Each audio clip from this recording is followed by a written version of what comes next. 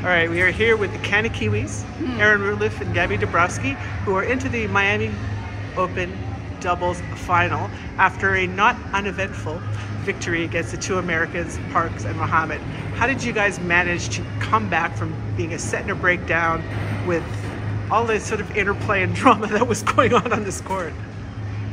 Um, good question. I think we stuck together. Number one, um, we kept, you know, reminding each other that it was going to come, and like our games were kind of going to click in the important times. I think we tried to stay loud, even when maybe a little uncomfortable. When it's kind of like you just want to shut down a little bit. I think. Um, and we, we picked good spots and really big moments. I think we hustled, um, you know, switched it up, tried to do like, you know, more lobs chips, like rather than like booming from the baseline. I think. Yeah, I don't know. Yeah. I mean, personally, uh, I'll have to watch it back to see how we were as a team in the first, but I started to internalize a little bit in the first where all of the things that I'm really good at normally, like volleys and overheads, they were not working. And I got a little bit flustered, and that's where I started to internalize. But I was glad that Erin was there, very supportive, trying to snap me out of it. And then um, it, it was like we talked about how the first set was not our best tennis, and yet it was 7 6. So that kind of put things into perspective, and we let each other know that like it was going to come and we would have our chance, even though it wasn't feeling great. There you go. So you still have no idea who you're going to play in the finals. It could be two completely different teams. Yeah. The short Italians or or uh, Kenin and Mattek-Sands, Yeah. I think.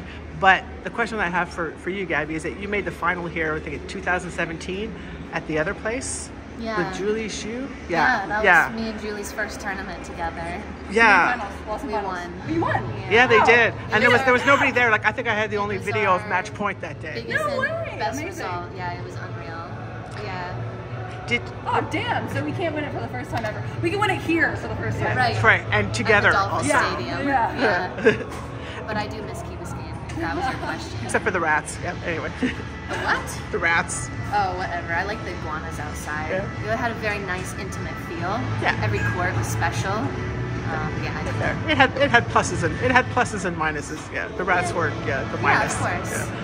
Yeah. Uh, I guess the question was seven years ago, could you have predicted that your career would be where it is now, where you're arguably playing probably I would say the best tennis of your career overall, and that you have some majors? Thanks.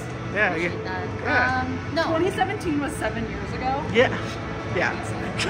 um, no, I don't think you can ever predict anything in tennis, to be honest. Like, whether it's singles or doubles, I think it's not easy to have consistent results over many, many years, or in doubles with many different partners.